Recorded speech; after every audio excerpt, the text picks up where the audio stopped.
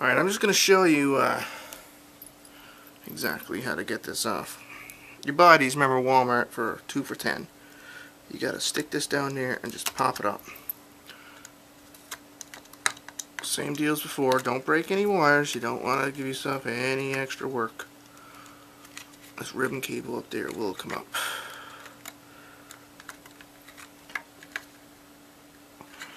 Oh, this one's uh, doesn't have all the gawk on it. Alright, I'll use my screwdriver. Body jam that one, and it probably had the same problem I had. I even got it glued. Alright, flip over. And remember to use the white the white one goes there and the dark one goes there. It's the ground. So you need to line those up right. Alright, let's solder that.